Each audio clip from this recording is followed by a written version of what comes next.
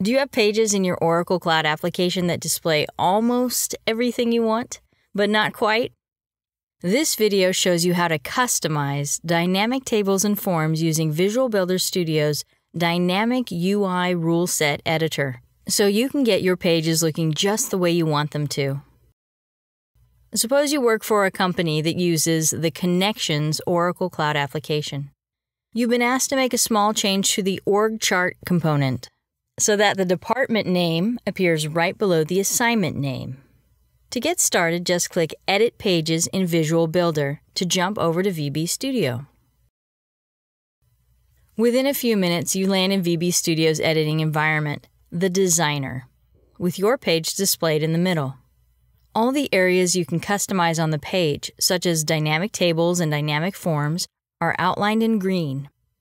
On the left under Flows, you can see that the org chart page is highlighted, which is the one you're looking at in the center. You can edit other pages in this app simply by clicking the page's name.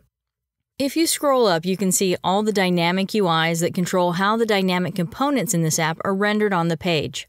Simply put, each dynamic UI represents a set of data fields that appear in one or more related dynamic components. Say a dynamic UI returns 10 data fields in all. One dynamic form based on this dynamic UI might display five of those fields on the page by default, while another form shows eight. When you create an app extension, you can override what was set by Oracle for these dynamic forms and hide, show, or rearrange the data fields to suit your requirements. The simplest way to get to the dynamic form you want to customize is to click the component, either directly on the page or under Dynamic Components in the Property Inspector on the right. We can see here that the name of the dynamic component that corresponds to the component we want to extend is called main card basic info. In fact, there are three dynamic forms used in the org chart component basic info, address info, and contact info. After you click the basic info form on the page, you see the Quick Actions panel, which holds a variety of useful configuration options. To add the department name field, we need to open the Dynamic UI Rule Set Editor. You have two main objectives when customizing this or any dynamic component. One, to configure the fields the way you want them in a layout, and two, to define the logic that determines which layout is applied to the component at runtime, based on the viewer's current circumstances. To get started, we first copy the component's default display rule. This rule was set by Oracle and can't be changed, but by copying it, you can use it as a starting point for your own work. We're going to need a new layout, so you may as well copy the default layout and use it as a starting point too. Let's configure the new Basic Info Update layout and add the department name field. Drag the department name field under the assignment name field. Notice that this field has a field template applied, which controls how the field is rendered on the page. You could use the override link to change this template, but let's leave it set to the default for now.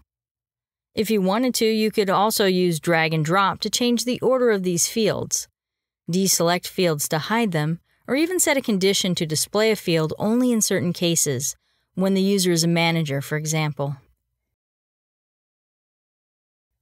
Now that we've configured the layout, click the main card basic info to go back to the rule set editor. At this point, we could specify a condition for the basic info update rule, which would apply to our new layout only if that condition is true for the current user. For example, we might want to show the department name field only when the user is an accountant. In this case, though, we want to display the department name field for all users, so we won't specify a condition here. How does this work? At runtime, Visual Builder Studio runs through all the rules from top to bottom. When it finally finds a rule for which the condition is true, VB Studio uses the layout defined for that rule. The remaining rules are not evaluated. In this case, the basic info update rule will be evaluated first. It doesn't have a condition, so it's essentially always true. That means that the basic info update layout will be applied for all users. The evaluation will stop before it even gets to the default rule. Let's make sure our configuration looks the way we want it to. In the header, click Preview to run the page.